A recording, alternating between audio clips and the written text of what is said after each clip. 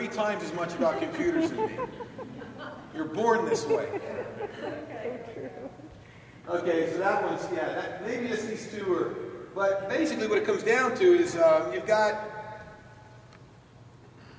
uh, since the war on cancer started, Nixon started the war on cancer. Anytime the U.S. government starts a war on anything, it's a dismal failure. It's lousy.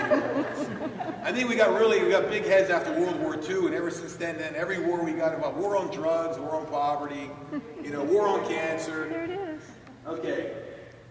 This guy is an oncologist, another book, talking about how dismal the war on cancer is. Uh, An Anatomy of Failure is the name of the book. And the reason why is this, is that they're, what they're doing is, they're saying, if you can fast track this thing, if you can shrink a, a laboratory rat tumor by 10%, then you get a fast track under the FDA, is what it comes down to. And then the drug becomes popular, popularized in the Wall Street Journal and the stock skyrockets. And we all know how well pharmaceutical companies do because they're the ones that they're the only ones that left have the money to advertise on TV anymore. Every, every commercial, if not every other commercial in the evening news, is a drug commercial. And how many people knew that Viagra was originally a hypertensive drug? Did you know that? Viagra was created originally as a drug for high blood pressure. And they found out that it increased nitrous oxide release from the lining of the blood vessels, which is relaxes the blood vessels, which lowers the hypertension, but it also does something else to guys. And lo and behold, it was a huge moneymaker. And now Bob Dole is the poster child for Viagra. But the point is, is that the, the war on cancer, uh, if you look at the following statistics here, I might be battery dead here, so I'm going to ask you to do it manually when I do this. How's that? Okay. This is the guy who actually came forward and tried to stop bovine growth hormone being injected into American dairy cows. And of course was marginalized and ignored. He has this thing called the uh, Stop Cancer Before It Starts campaign. How to win the losing war against cancer. PreventCancer.com.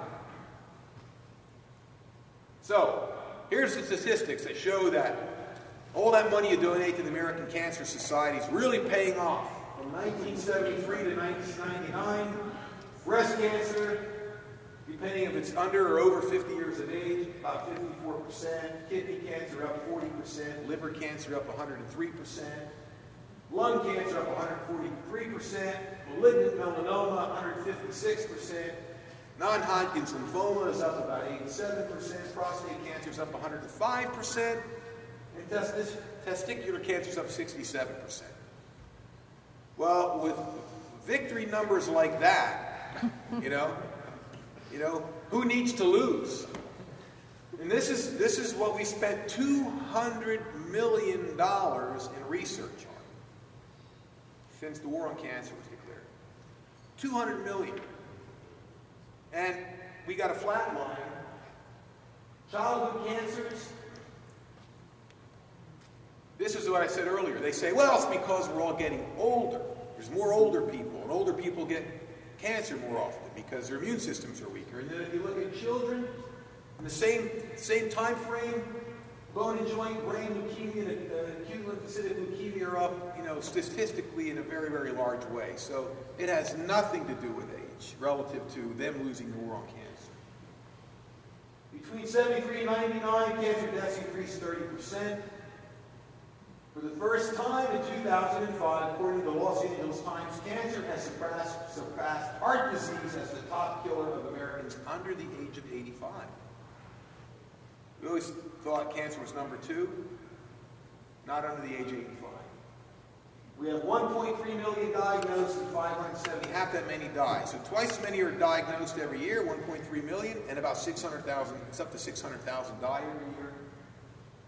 In the 25 to 35 year old age group, the National Cancer Institute showed that survival rates have not increased at all since 75.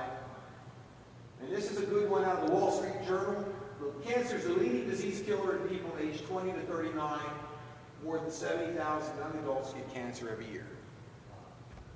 So they can show you all the statistics they want, but they lie.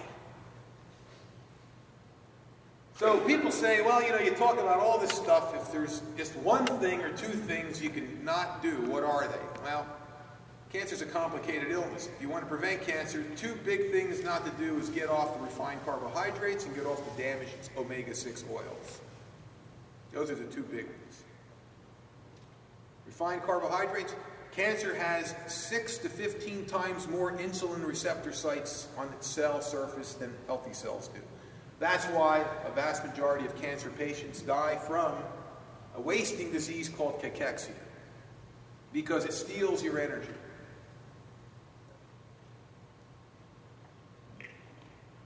It loves glucose. If you look at the per capita consumption, when you look at 1946, the per capita consumption of soft drinks in the United States was 10.5 gallons of pop, and today it's 57 gallons per person per year. And of course, they're not even sweetening it with cane sugar. They've gone one step more evil, and that's high fructose corn syrup. Insulin directs inflammatory eicosanoid pathways. What's that? Well, cancer is an inflammatory problem, as is heart disease, as is arthritis. I'll talk about that here in a little bit. Otto Warburg got the Nobel Prize in 1931 or 32 for the research that he did in 1925. He got the Nobel Prize for this that uh, the metabolism of cancer cells is predicated on a decrease in oxygen to the cell up when it hits to be about 30 to 35 percent. Instead of going through oxidation, it goes through lactofermentation. And that drops the pH of the cell. You ever hear about the fact that people with cancer have a pH issue? I talked to a woman in California, had pancreatic cancer. Her pHs were in the high threes. Remember, pH is logarithmic. I find it interesting about pH. Ideal soil pH is when you get the minerals balanced, 6 4. Plant sap pH when it's really healthy, 6 4. Saliva pH first thing in the morning, 6 4, or thereabouts. Are we being taught something here? Is there another elephant standing in the room? The pH is an exchange of energy, oxygen reduction. That's what it is. It's all about oxygen reduction. Hydrogen ions, oxygen. It's the exchange of energy. Yes? What are some of the largest sources of degraded omega 6 oil? The question is what are some of the largest sources of the degraded omega 6 oils in the fast foods, the deep fryer fats? The problem we have, let's see if we get there here. The problem we have with the cell membrane, being that it's fat, it consists of omega 3 and omega 6 fats. Omega 3 and omega 6 fats are very, very uh, attracted to oxygen, or oxygen is attracted to the fat. And that's a good thing because that pulls oxygen inside the cell where you burn it with glucose inside the furnace called the mitochondria. That cell membrane has got openings, portals called transport proteins that open and close based on that 70 millivolts of electricity. That, that's also predicated on the pH differences from inside and outside. 70 millivolts of electricity, open and close. And it allows the oxygen to get in and allows waste to get out. Now, that being said, if you damage the omegas, that's why you can't cook with omega 3s. And that's why plants make omega 6s. Omega 6s you can cook with because they don't oxidize as readily as an omega 3. And yet the same plant will make both. It'll make omega 3 when it starts out. You take wheat, you put wheat in the soil, it grows wheatgrass. That wheatgrass is loaded with omega 3 or alpha linoleic acid, parent omega 3. Then it turns into a wheat stalk with a grain on the top, and all that omega 3 now is converted by a desaturase enzyme into omega 6. Why? Why does it do that? Because omega 6 is a storage fat, it's a future omega 3 fat. And the reason why plants need omega 3 is because the chloroplast, which is where chlorophyll is made, where, where photosynthesis occurs, in this organ of the plant called the chloroplast, has a fatty membrane made out of omega 3. No omega 3s, no chloroplast, no chloroplast, no photosynthesis. The plant, in its wisdom, uses omega 3s, keeps them, and then, as the plant no longer is a green plant,